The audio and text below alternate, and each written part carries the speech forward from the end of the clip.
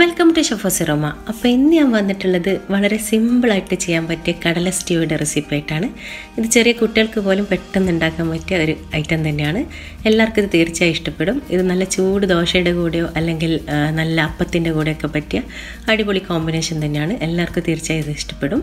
എല്ലാവരും ഒന്ന് വീട്ടിൽ ഇതൊന്ന് ട്രൈ ചെയ്ത് നോക്കുക ഇഷ്ടപ്പെടുകയാണെങ്കിൽ എന്റെ ചാനലൊന്ന് ലൈക്ക് ചെയ്യാൻ മറക്കരുത് സബ്സ്ക്രൈബ് ചെയ്യാൻ മറക്കരുത്. അപ്പോൾ നമുക്ക് ഇതെങ്ങനെ ഉണ്ടാക്കേണ്ടതെന്ന് നോക്കാം.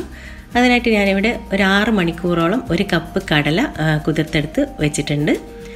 മാക്സിമം ആറ് മണിക്കൂറെങ്കിലും കുതിർത്തെടുത്ത് വെക്കുക. അതിനുശേഷം ഒരു കുക്കർ വെച്ചിട്ട് ഇതിലേക്ക് നാല് ടേബിൾ സ്പൂണോളം വെളിച്ചെണ്ണ ഒഴിച്ച് കൊടുക്കുക. വെളിച്ചെണ്ണ ഇതിന്റെ മെയിൻ ഇൻഗ്രീഡിയന്റ് ആണ്. മറ്റൊരു മെയിൻ ഇൻഗ്രീഡിയന്റ് എന്ന് വെച്ചാൽ ചെറിയ ജീരകമാണ്. ചെറിയ ജീരകം ഇതിൽ മെയിനാണ് ഇതിന്റെ ഫ്ലേവറാണ് ഈ സ്റ്റ്യൂവിൽ മുന്നിൽ നിൽക്കേണ്ടത്. പിന്നെ ഇതിലേക്ക് ഒരു ടേബിൾ സ്പൂൺ ഇഞ്ചി ചതച്ചതും പിന്നെ അഞ്ച് സ്ലൈസ്ഡ് പച്ചമുളക് വിട്ടെടുത്തിട്ടുണ്ട്. പച്ചമുളക് ഇതേപോലെ കീറിയിട്ട് തന്നെ ഇട്ട് കൊടുക്കുക.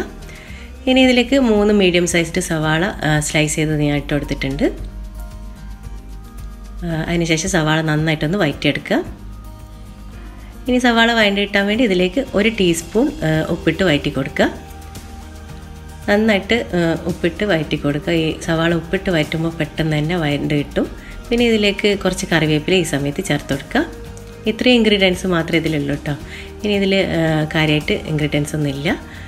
ഇനി ഇതിലേക്ക് വേറെ പൊടികളൊന്നും ചേർക്കുന്നേ ഇല്ല. മെയിനായിട്ട് ഇതിൽ ഇഞ്ചിയുടെയും പിന്നെ വെളിച്ചെണ്ണയുടെയും ജീരകത്തിന്റെ ഒക്കെ ഫ്ലേവറാണ് മുന്നിൽ നിൽക്കുന്നത്. പിന്നെ ഇതിലേക്ക് നമ്മൾ കുതിർത്തെടുത്ത് മാറ്റി വെച്ചിട്ടുള്ള കടല ഇതിലേക്ക് ഇട്ട് കൊടുക്കുന്നുണ്ട്.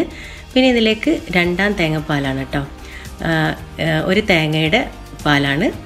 ഇതിന്റെ രണ്ടാം തേങ്ങാപ്പാൽ രണ്ട് കപ്പ് എടുത്തിട്ട് ഒഴിച്ചു കൊടുക്കുക. രണ്ടാം തേങ്ങാപ്പാലിലാണ് ഇത് വേവിച്ചെടുക്കുന്നത്. വെള്ളം വേറെ ചേർക്കുന്നില്ല. ഇനി വെള്ളം ആവശ്യമാണെങ്കിൽ കടലക്ക് കൂടുതൽ വേവ് ആവശ്യമാണെങ്കിൽ തേങ്ങാപ്പാൽ ആവശ്യമായിട്ട് വരും.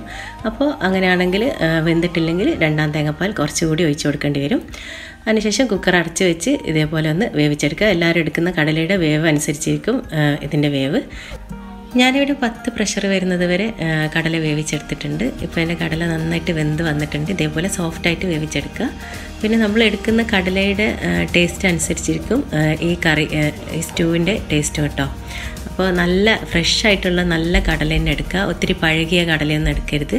അപ്പോൾ അത്രയ്ക്ക് അങ്ങ് ടേസ്റ്റ് ഒന്നും ഉണ്ടാവില്ല. പിന്നെ ഇതിലേക്ക് ഞാൻ ഒന്നാം പാൽ രണ്ട് കപ്പ് ഒഴിച്ചു കൊടുത്തിട്ടുണ്ട്.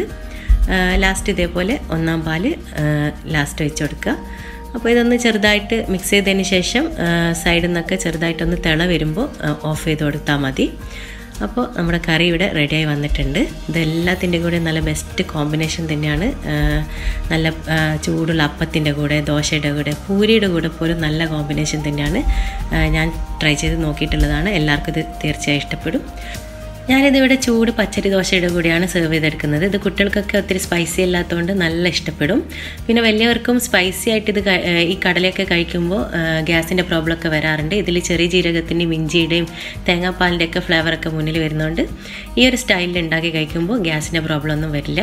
അപ്പോൾ എല്ലാവരും ഈ ഒരു സ്റ്റൈലിൽ കടല കഴിക്കാത്തവർക്കൊക്കെ ഇങ്ങനെ ഉണ്ടാക്കി കഴിച്ച് നോക്കുക അപ്പോൾ എല്ലാവർക്കും ഇത് തീർച്ചയായും ഇഷ്ടപ്പെടും. ഇഷ്ടപ്പെടുകയാണെങ്കിൽ എന്റെ ചാനലൊന്ന് ലൈക്ക് ചെയ്യാനും സബ്സ്ക്രൈബ് ചെയ്യാനും കമന്റ് ചെയ്യാനും മറക്കരുത്. അടുത്ത കിടിലൻ ഐറ്റായിട്ട് വരുന്നത് താങ്ക് ഫോർ വാച്ചിങ് ബൈ